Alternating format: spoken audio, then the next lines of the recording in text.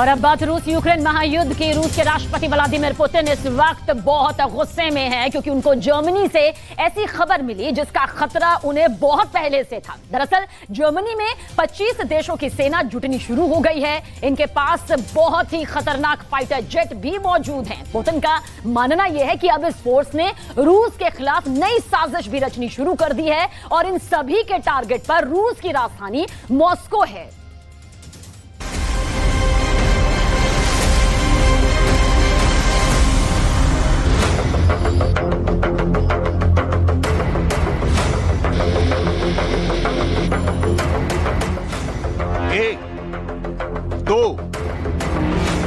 तीन चार, पाँच, छ, सात, आठ।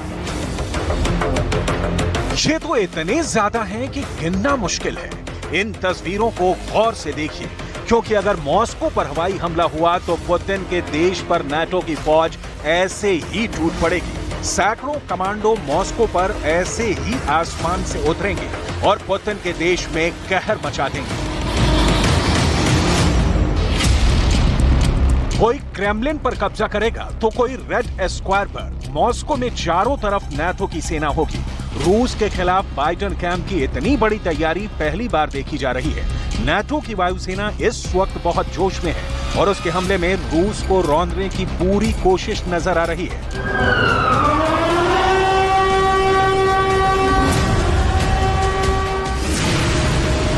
देखिए, दूसरे जहाज़ से कैसे कमांडो उतर रहे हैं। पैराशूट बांधे इन कमांडोज को एक के बाद एक हमले के लिए लॉन्च किया जा रहा है। ये किसी भी युद्ध की सबसे खतरनाक तस्वीर होती है, क्योंकि तब एक फौजी सिर पर कफन बांधकर दुश्मन के इलाके में उतरता है और युद्ध शुरू कर देता है। आसमान से उतरती इस किलर मशीन को देखकर किसी भी दुश्मन की रूह काँप जाएगी। ये ऐसी फौज होती है जो कब्जा करने के लिए जान से मार देती है, जो दुश्मन को ज़िंदा नहीं छोड़ती। आखिर ये सब हुआ कहा? नाटो ने ऐसी दिलेरी कहाँ दिखाई?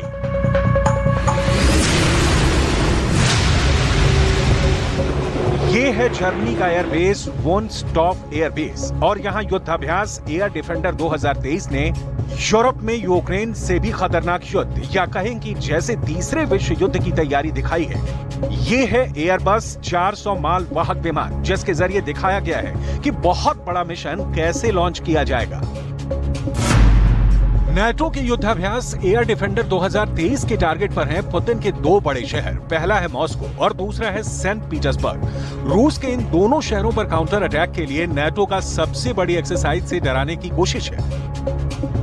2023 zeigen wir, beweisen wir und demonstrieren wir die Verteidigungsfähigkeit dieses Bündnisses. Diese Übung ist im Signal gegen niemanden gerichtet. Es ist ein Signal an uns, an innen gerichtet, in die NATO hinein. Es sind überwiegend NATO-Staaten, die an dieser Übung teilnehmen, die deutsch geführt ist, dass wir in der Lage sind, dieses Land und dieses Bündnis zu verteidigen. जिस विमान से सैनिकों को launch करके दिखाया जा रहा है, ये यूरोप का ही बहुत खास विमान है। इसका नाम है ए फोर हंड्रेड या एयर बस फोर हंड्रेड जो 37 टन यानी सैतीस हज़ार किलो तक का वज़न उठा सकता है। इस विमान से 120 सैनिकों या पैरा कमांडोज को लॉन्च किया जा सकता है। ये 8000 किलोमीटर की दूरी तक उड़ान भर सकता है। यानी ये मॉस्को पर सेना को लॉन्च करके आराम से वापस यूरोप के किसी भी एयरबेस पर उतर सकता है।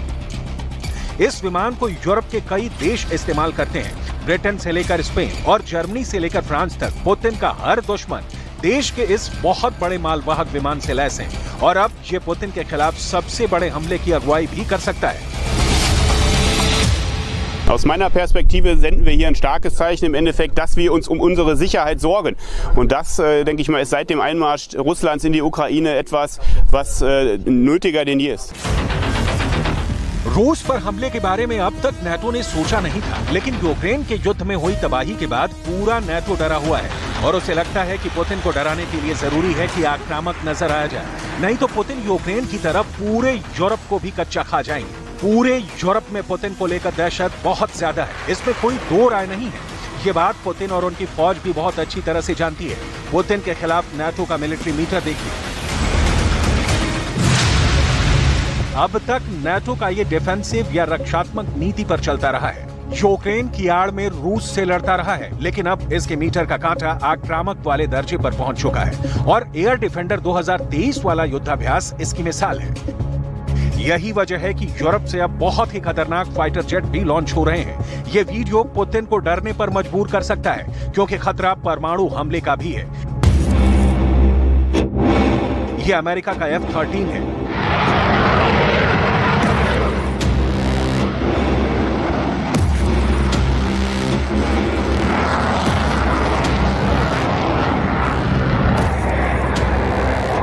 ये स्वीडन का ग्रिपन है।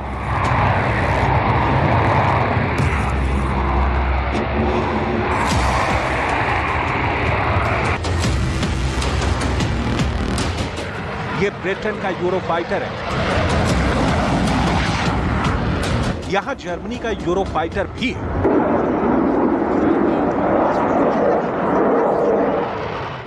ये फ्रांस का राफेल फाइटर है।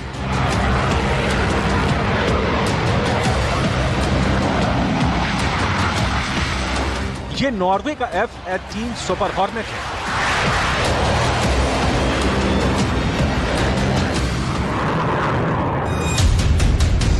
ये बेल्जियम का एफ़ सिक्सटीन है।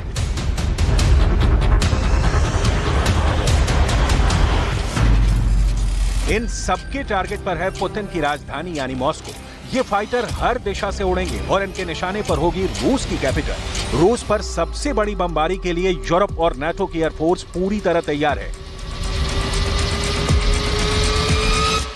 अगर ये विमान रूस की सरहद में घुस जाए तो क्या होगा? क्या पुतिन इन्हें रोक पाएँगे? या ये मॉस्को पर ऐसी बमबारी करेंगे कि नौबत वर्ल्ड वॉर किया जाएगी?